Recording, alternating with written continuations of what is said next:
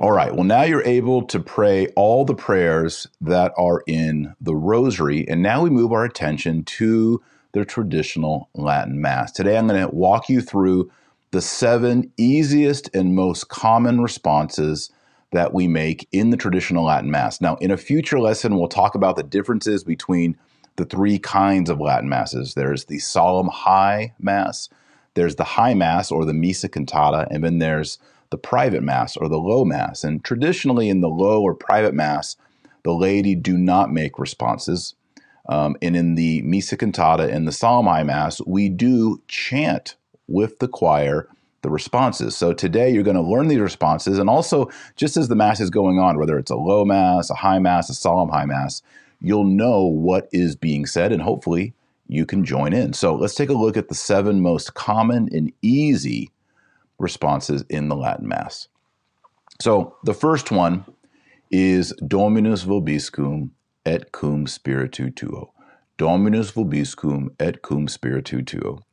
Very easy. The old joke that altar boys used to say is, What's God's phone number? And the answer was, Et cum spiritu tuo. Kind of a silly juvenile joke. But Dominus vobiscum means the Lord, y'all, you plural, with. The Lord be with y'all, plural. The Lord be with you, as we translate it properly. And then the response is et cum spiritu tuo, and with spirit yours. So everyone needs to know Dominus vobiscum et cum spiritu tuo. Basic. And probably everyone watching already knows that one. Even people who have not been to a Latin Mass at least know this one and how to respond.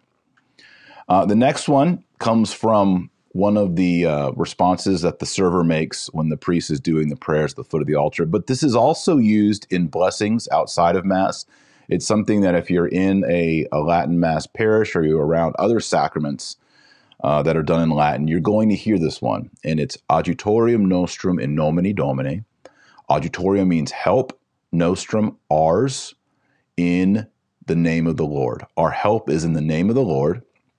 In the response, that the server makes or if you make or whatever the context is. Sometimes when a bishop's here, you'll hear this. And the response is qui fecit caelum et terram. Who fecit made heaven and earth. So it goes, Our help is in the name of the Lord. And then the response is, Who made heaven and earth? So the part you need to know is qui fecit caelum et terram. Boom. The next one is also from the prayers at the foot of the altar, but you'll hear it in other contexts, uh, for example, in the divine office. Domine exaudi orationem meum, et clamor meus ad te veniat. Literally, Lord, hear out my prayer. In, in Latin, there's audi and there's ex audi. Here we have ex audi, and it's it's not exact, but in English you can hear like you say, "Do you hear me?" and "Do you hear me out?" We we use the exact same um, uh, format when we say "Hear him out." So here we're saying, "Lord, hear out my prayer." Domine exaudi rationem meum, and then the response is, it, "This is from the Psalms." Et clamor meus ad te veniat, and my cry shall come to thee. Lord, hear my prayer, and my cry shall come to thee. Now, the next part is great. This is the Kyrie eleison. Uh, we'll learn about this later when we, when we study the Roman Rite. But Saint Gregory the Great, in the around the year 600, notes that there's a major difference between the Roman Church and the Church in Constantinople on the Kyrie as you know, in the Eastern Church, they say Kyrie eleison, Kyrie eleison, you know, three times, nine times, 40 times, 100 times. Gregory the Great in Rome says the difference between the Romans and the Greeks on the Kyrie eleison, because we're both saying this in Greek, this is not Latin. Kyrie eleison comes from Kyrie, which means, O Lord, and eleison, have mercy. The difference, Gregory the Great says, is the Greeks say it all in unison But the Romans have the priest, the clergy, and the lay people alternating it, which is exactly what we do in this current day. There's the alteration of Kyrie, eleison, Kyrie eleison, Kyrie eleison, Christe eleison. And then the other difference is that we add into the middle Christe eleison. So the first three are for God the Father. The second three, which are announced Christe eleison, are for Christ, the second person of the Trinity. And then the final three are for the Holy Spirit. So these are addressed to the three persons of the Trinity. Each one gets three, and they're alternating. They weave back and forth. And this goes back at least to Gregory the Great, probably even before. So it goes Kyrie eleison, and then that's the priest. And then we say Kyrie eleison, and then the priest Kyrie eleison. And then it switches to us Christe eleison, Christe eleison, Christe eleison. And then the priest, Kyrie eleison, us, Kyrie eleison, and then Kyrie eleison. And when it's chanted, that final Kyrie eleison is is more um, beautiful. Kind of lets you know that that's the last one. Otherwise, we would just keep going and going and going. There might be that tenth Kyrie thrown on there. Uh, but this is really beautiful. It's one of my favorite parts of the Latin Mass. And uh, you'll notice if it's a Missa Cantata or a Solemn High Mass, while this is being chanted, uh, you'll notice that the clergy continue to go on and and do their functions at the altar to really really neat detail in the Roman rite. Okay, so the next uh, common response that you'll need to know is before and after the gospel. Before the gospel is Gloria tibi Domine, glory to you, O Lord. And then after the gospel, it's Laus tibi Christe, praise to you, Christ. The Novus Ordo translates this kind of wrong. Uh, how do they do it? Glory be to you, Lord Jesus Christ. Praise be to you. I think it's Lord Jesus Christ. I haven't been in a while, so I can't remember. But they have a, they add a little bit in there. But in the old Latin, it's just Gloria tibi Domine, Laus tibi Christe. And then there is the great back and forth before the Roman canon, before the Sanctus, Sanctus, Sanctus, the Holy, Holy, Holy. Um, the priest be, finishes up the offertory per omnia secula seculorum through all ages of ages. We say Amen.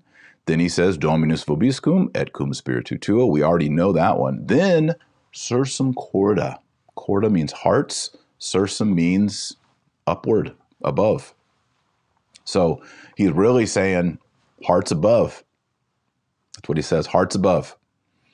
Shows already our predilection for the heart, which is very Hebraic as the center of man where the hearts, I mean, sorry, where the thoughts are found is in the heart. So here he says, hearts up, hearts above, sursum corda. And then we respond, habemus ad dominum. Now, in English, it's often we lift them to the Lord, but that's not what the Latin says. Look at the Latin, habemus ad dominum. We have them to the Lord. Habemus, not lift. There's no lifting here we have them to the Lord. So the priest says, hearts above, and we say, literally, we have them to the Lord. It's sort of we pointed them already. We have them honed in on God. And then the priest says, gratias agamus domin, sorry, gratias agamus domino deo nostro. Gratias agamus means let us give thanks. Literally, let us give graces. Let us lead graces to the Lord our God. And then the people say, Dignum et justum est. And here's on that dignum, you have that GN, which reminds us to do the onion sound, nasal. If it were classical Latin, we would say dignum, but in the church ecclesiastical Latin, dignum. So we say dignum et justum est. So that's that part. And then, of course, you need to know the outro, the end which in the Latin Mass, this comes before the final blessing, which you need to be aware of. But the priest or the deacon chants, Ite missa est Deo gratias. All right, so this means a lot of things. It means that the sacrifice is sent.